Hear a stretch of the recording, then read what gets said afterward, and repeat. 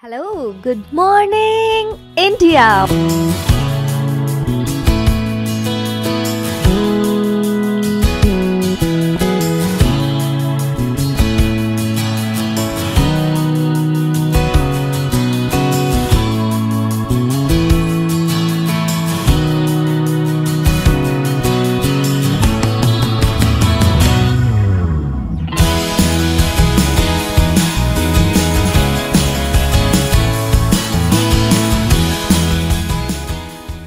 Monday to Friday back to back classes live from studio आज ही subscribe करें WiFi study channel को।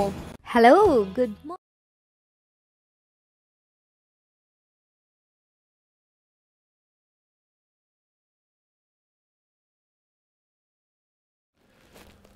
hello friends welcome to WiFi study changing the way of learning स्वागत है आप सभी का इंडिया के number one study channel WiFi study पे तो दोस्तों, जैसा कि आप सभी को मालूम है, डेली सुबह पाँच बजे अपना एक इंपॉर्टेंट सेशन होता है, जिसके अंदर हम डिस्कस करते हैं इंपॉर्टेंट करंट अफेयर जो कि आपके डेली के होते हैं। उम्मीद है आप इसे रेगुलर देख रहे होंगे शेयर ज़रूर कर रहे होंगे, ताकि सभी बच्चे अपने नॉलेज को इंप्रूव कर सके और आगे बढ़ सके।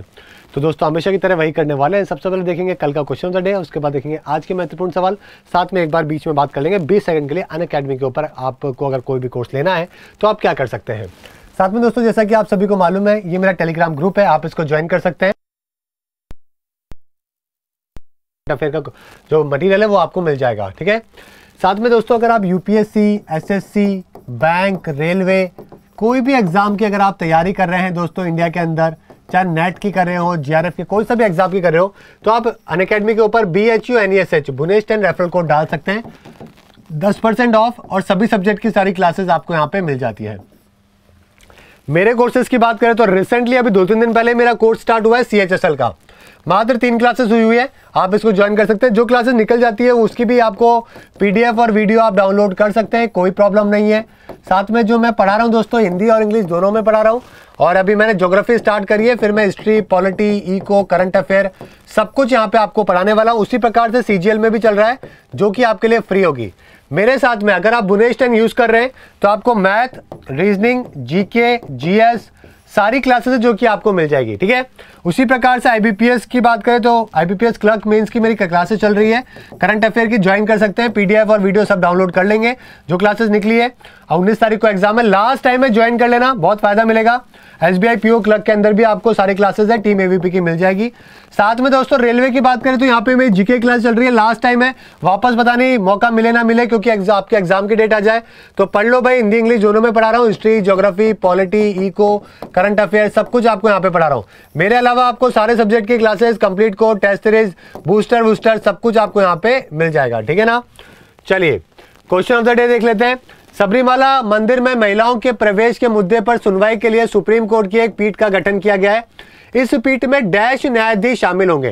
देखो, पहली बात तो ये मामला जो है वो सिर्फ़ और सिर्फ़ सबरीमाला का नहीं है। समझ रहे हो? ये मामला है किसी भी टेंपल के अंदर या किसी भी मस्जिद के अंदर, है ना, प्रवेश को लेकर। साथ में पारसी महिलाएँ अगर इंटर फेथ रिलीजन कर ले, कर लेती है तो फायर टेंपल में उनको अलाउ नहीं होता है। है ना? इसी तरीके से जो म्यूटिलेशन होता है आ, सिया मुस्लिम्स में जो एक है ना दाऊदी करके सेक्ट होता है उसके अंदर। तो यहाँ पे बात करी जा रही है कुल मिला के दोस्तों कि जो लोगों के सांप्रदायिक मुद्दे हैं उसको क्या इक्वलिटी के साथ में देखा जाना चाहिए या नहीं देखा जाना चाहिए? तो इसके लिए नौ जजेस की बेंच है जो कि बिठाई गई है। तो आपका आंसर यहाँ पे क्या हो जाएगा? नाइन आपका यहाँ पे बिल्कुल सही आंसर हो जाएगा। ठीक है ना दोस्तों? चलिए और हेड कौन करेंगे? जस्टिस बोबडे जी करेंगे।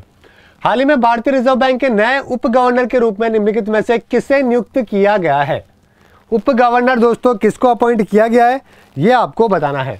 तो आप देख सकते हैं दोस्तों रिसेंटली दोस्तों यहाँ पे नए डिप्टी गवर्नर किसको? माइकल पात्रा को अपॉइंट किया गया है।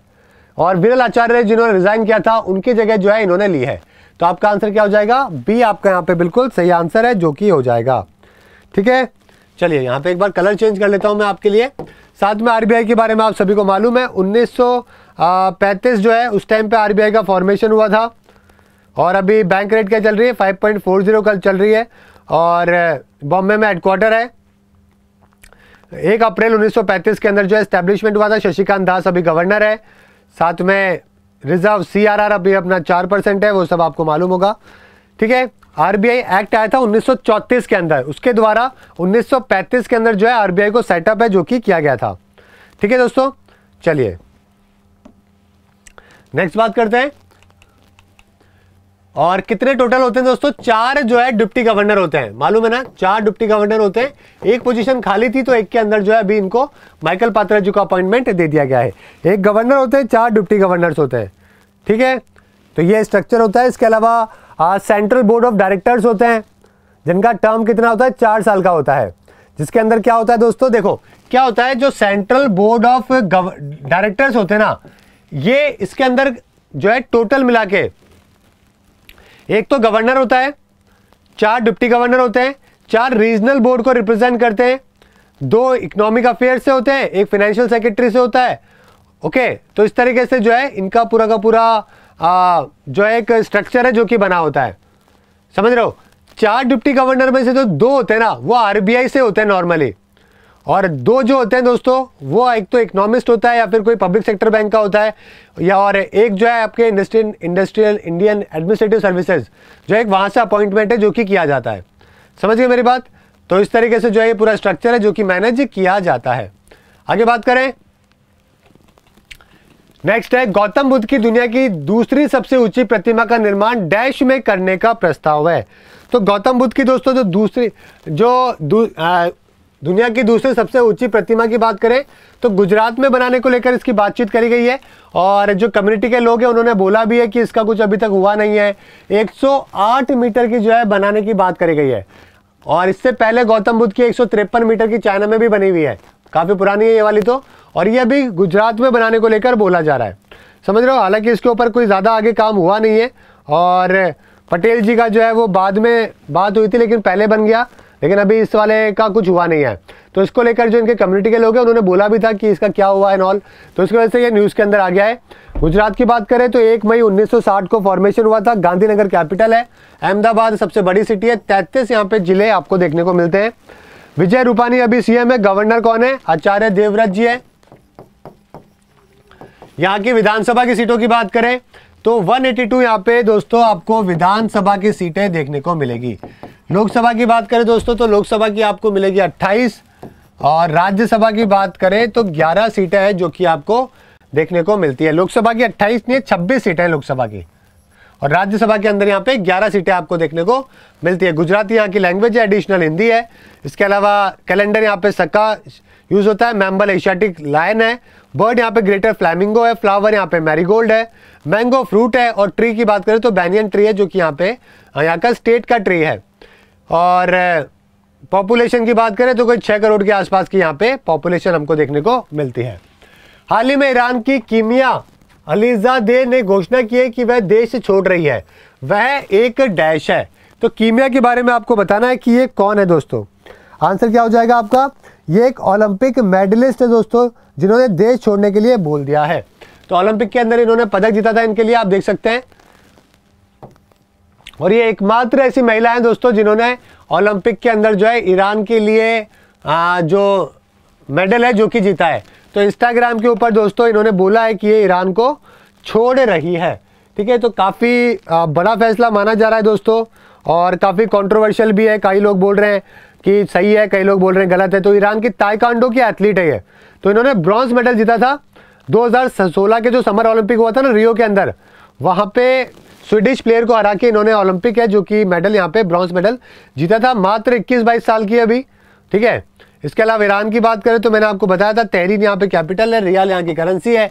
अली है जो कि यहाँ के सुप्रीम लीडर है और हसन रूहानी है जो कि अभी यहाँ पे प्रेसिडेंट बने हुए हैं दोस्तों। ठीक है? चलिए, यहाँ पे सहयोग कैंजिन डैश और भारतीय तटरक्षक के बीच में संयुक्त सैन्य अभ्यास है। तो सहयोग के बारे में आपको बताना है दोस्तों। तो सहयोग जो है दोस्तों वो भारत और जापान के बीच में ये एक्सरसाइज है। ठीक है? इंडिया के कोस्ट गार्ड के और जापान के जो कोस्ट गार्ड है वो चेन्नई के अंदर दोस्तों इसके अंदर पार्टिसिपेट कर रहे हैं। प्रतिष्ठ रायसीना संवाद का डैश संस्करण नई दिल्ली में शुरू होगा। कौन सा रायसीना डायलॉग है जो कि कराया जा रहा है? तो देखिए 2016 में पहली बार स्टार्ट हुआ था और अभी जो है वो पांचवा डायलॉग है जो कि कराया जा रहा है। 16 में हुआ 17, 18, 19 और अभी 20 के अंदर करवाया जाएगा। यानी कि पांचवा डायलॉग है दोस्तों। ठीक है ध्यान रखिएगा। और किसके द्वारा करवाया जाता है? ऑब्जर्वर रिसर्च फाउंडेशन के साथ में मिलकर, कौन मिलकर? जो अपनी एक्सटर्नल अफेयर मिनिस्ट्री है, ये मिलकर जो है, ये करवाती है। ओके? हाल ही में निम्नलिखित में से किस मंत्रालय ने इकतीस जनवरी तक सभी ड्रोन को पंजीकृत करने का निर्देश दिया है? तो भाई, जितने भी ड्रोन हैं, वो पर्चीकृत करने के लिए बोला है, वरना बोला है कि आपको दो साल तक की सजा और आपको फाइन भी जो है अच्छा खासा जो है, फाइन भी देना पड़ सकता है। अगर आप रेगुलेशन नहीं मानते हो तो और यहाँ पे जो मिनिस्टर ऑफ़ सिविल एविएशन है, नागरिक उड्डयन मंत्रालय, उन्होंने जो ये एडवर्सरी है, जो कि जारी करी है। ठीक है? तो ये बात आपको यहाँ पे पता होनी चाहिए पेपर पॉइंट ऑफ़ व्यू से। इंपॉर्टेंट है, आप यहाँ पे देख सकते हैं। ओके और हाँ और साथ में आपको विदाउट परमिशन देखो होगा क्या? एक डिजिटल है ना स्काई पोर्टल बनाया हुआ है। तो वहाँ पे क्या कर सकते हो आप? रजिस्टर कर सकते हो जाके। वहाँ पे उसके बाद आपको यूनिक आइडेंटिफिकेशन नंबर है जो कि मिलेगा और उसके बाद आप ड्रोन काम में ले सकते हो। ड्रोन काम में लेने की भी अपनी अपनी सीमाएँ होती है दोस्तों। जैसे कि अगर मैं बात करूँ तो नॉर्मली आपको 400 फीट तक जो है वो अलाउ किया जाता है। समझ रहे हो? तो इसके भी क्राइटेरियाज है जो कि बना रखे हैं दोस्तों कि कितना आप अलाउ कर रखा है, कितना विदाउट किसी के पूछने पे। तो दो किलो से कम वाले जो है ना है ना, उनके लिए वैसे रजिस्ट्रेशन सर्टिफिकेट की और बाकी की चीज़ों की ज़रूरत नहीं है। और अगर दो किलो से ज़्यादा उसका वेट है तो आपको डेफिनेटली उसको रजिस्टर करवाना चाहिए। ठीक है? और आपको एयरपोर्ट के पास में या फिर आर्मी एरिया के पास में आप इसको नहीं उड़ा सकते हो। समझ रहे हो मेरी बात? तो इस तरीके से लिमिट है जो कि इसकी सेटअप करी गई है। ठीक है? चलो, आगे बात करते हैं। हाल ही में निम्नलिखित में से कौन सा स्मारक एट वंडर्स ऑफ़ एस की सूची का हिस्सा बन गया है? शंघाई कॉरपोरेशन ऑर्गेनाइजेशन के बारे में बात करी जा रही है। और जैसा कि आपको मालूम है दोस्तों एस के बारे में बात करें, आठ देशों का ये है, समूह है, जिसमें कौन कौन से इंडिया, पाकिस्तान, रशिया और चाइना। किर्गिस्तान, कजाकिस्तान, उज्बेकिस्तान और तजाकिस्तान। ये आठ देश है जो कि इसके अंदर शामिल है। बीजिंग के अंदर इसका हेडक्वार्टर है। 1996 के अंदर इसकी शुरुआत करी गई थी। और भारत जब अभी कुछ साल पहले ही है, जो कि भारत इसका मेंबर बना है। और इनके अगर मैं बात करूँ वॉन्डर्स में तो स्टैचू ऑफ़ यूनिटी जो कि राम सुतर जी के द्वारा डिज़ाइन किया गया था, इसको भी इंक्लूड है, जो कि कर लिया गया है। समझ गए मेरी बात? तो ये भी आपको बात यहाँ पे ध्यान रखनी है। ठीक है स्टैच्यू ऑफ़ यूनिटी को लेकर गुजरात के अंदर है। आगे बात करते हैं दोस्तों। उत्तर प्रदेश सरकार ने डैश और डैश में पुलिस आयुक्तालय प्रणाली लागू करी है। जल्दी से बताइए, कहाँ पे लागू करी गई है दोस्तों? कमिश्नरेट प्रणाली, ये लखनऊ और नोएडा के अंदर स्टार्ट कर दी गई है। समझ रहे हो? नोएडा और यहाँ पे लखनऊ के अंदर है, जो कि उत्तर प्रदेश ने स्टार्ट है, जो कि कर दी है। उत्तर प्रदेश की बात करें, आपको मालूम है, योगी जी है, जो कि अभी यहाँ पे सीएम है। आंदीपेन पटेल यहाँ पे गवर्नर है, दोस्तों। यहाँ के विधानसभा की बात करें तो 403 सीटें विधानसभा में, विधान परिषद में है, आपके 100 सीटें। लोकसभा की बात करें तो 80 सीटें। और राज्यसभा की बात करें, दोस्तों तो इकतीस सीटें हैं, जो कि आपको देखने को मिलती है। दिनेश और केशव प्रसाद यहाँ पे डिप्टी सीएम बने हुए हैं, फ़िलहाल। हिंदी यहाँ की ऑफिशियल लैंग्वेज है, दोस्तों। ठीक है? और यहाँ का स्टेट स्पोर्ट हॉकी माना जाता है। कथक डांस है फ्लावर पलाश है अशोका ट्री है सरस जो है यहाँ पे स्टेट बर्ड है और एनिमल की बात करें तो यहाँ पे डियर स्वयं डियर जो होते हैं ना वो यहाँ के स्टेट के जो है वो वो, आ, वो है ब, क्या बोलते हैं एनिमल है। आगे बात करते हैं हाल ही में निम्नलिखित में से किसने 100 करोड़ रुपए में D F H L general insurance को अक्वायर किया है? अधिग्रहण किया है D F D H F L का। डी एफ़ एच एल के बारे में आपको बताना है दोस्तों तो डी एफ़ एच एल के बारे में बात करें तो यहाँ पे आपका आंसर क्या हो जाएगा? सचिन बंसल, फ्लिपकार्ट के को फाउंडर दोस्तों। सचिन बंसल ने जो है, दीवान हाउसिंग फाइनेंस कॉरपोरेशन जो है, उसके अंदर स्टेक है जो कि लिए हैं। पुरानी दोस्तों कंपनी है, जो ये हाउसिंग फाइनेंस कंपनी है, मुंबई में हेडक्वार्टर है। तो पुरानी कंपनी है, कोई 1984 की बनी हुई कंपनी है दोस्तों डी लेकिन ये इंश्योरेंस कंपनी है। समझ रहे हो? नॉर्मली जो है हाउसिंग फाइनेंस कॉर्पोरेशन कंपनी है डीएफएसएल उसका इंश्योरेंस जनरल इंश्योरेंस एक आम है जिसके अंदर 100 करोड़ रुपए में जो है इसको लिया गया है। ठीक है? और डीएफएचएल की बात करें तो इसकी शुरुआत 1984 के अंदर हुई थी दोस्तों। ओके? तो यहाँ पे सचिन बंसल ने जो है, इसके अंदर स्टेक है दोस्तों, जो कि अभी रिसेंटली लिए हैं, सौ करोड़ रुपए के अंदर। ओके? आप देख सकते हैं। चलिए, और ये किनका है दोस्तों? जो इंश्योरेंस ये कपिल वर्धान जो वर्धन ग्रुप है ना, उनका है दोस्तों ये। आगे बात करते हैं, अगर आपको अन अकेडमी के ऊपर कोई भी प्लस सब्सक्रिप्शन लेना है गाइज़ तो आप बुनेश टेन यूज़ कर सकते हैं। यूपीएससी आरपीएससी है ना एसएससी बैंक रेलवे कोई सा भी अगर आप तैयारी कर रहे हैं, किसी भी एग्ज़ाम के अन अकेडमी के ऊपर सब्सक्रिप्शन ले रहे हैं तो B H U N E S H Bhunesh ten use कर सकते हैं, दस परसेंट ऑफ़ और सभी सब्जेक्ट की सारी क्लासेस है, जो कि आपको यहाँ पे मिल जाएगी। ठीक है फॉर एग्ज़ाम्पल एसएससी के अंदर आपने सीएचएसएल का अभी मेरी क्लास चल रही है, मात्र तीसरी क्लास हो रही है ज्योग्राफी की, फिर history polity eco current affair सब कुछ पढ़ाने वाला हूँ। जो क्लासेस निकल जाती है, उसकी पीडीएफ और वीडियो भी आप डाउनलोड कर सकते हो, कोई दिक्कत नहीं है। हिंदी और इंग्लिश दोनों में कोर्स चल रहा है, ठीक है। साथ में सीजीएल के अंदर भी मेरी क्लासेस फ्री मिलेगी आपको। मेरे अलावा मैथ रीजनिंग जीके जीएस सारी क्लासेस आपको इंग्लिश इंग्लिश सब मिल जाएगी। प्री मेंस टेस्ट सीरीज़ सब कुछ। आपको बुनेश टेन यूज़ करना है। इसी प्रकार से आईबीपीएस क्लर्क मेन में भी दोस्तों करंट अफेयर क्लास चल रही है।